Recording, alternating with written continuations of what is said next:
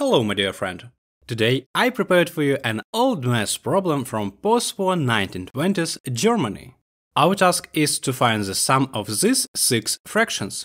Here we are skipping the common denominator search because it's a time-consuming process and can get too complicated.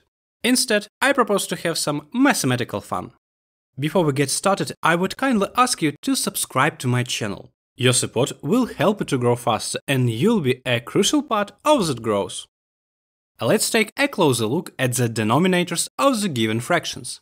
The first that catches the eye is that the pair 20 and 30 might have something in common, as well as the pair 42 and 56 and 72 and 90.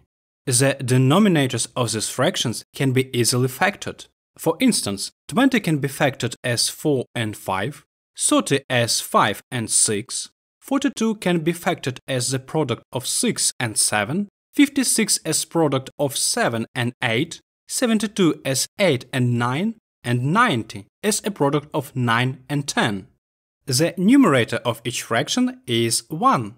Now, let's define this 1 as the difference between the numbers we listed in the denominator.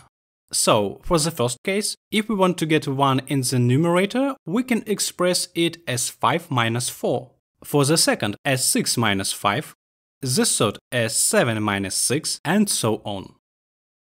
This mathematical expression is the same as this one, we just express it in a different way. Now, let's divide these big fractions into smaller ones.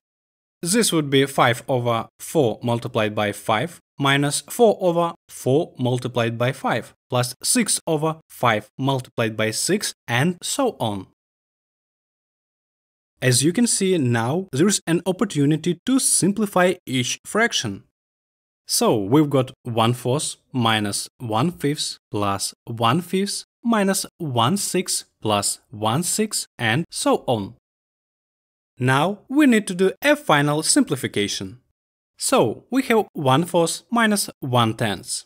Let's bring them to a common denominator, which is 20.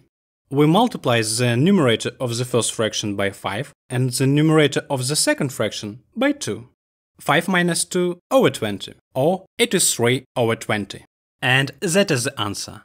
Please subscribe to my channel and see you in the next episode.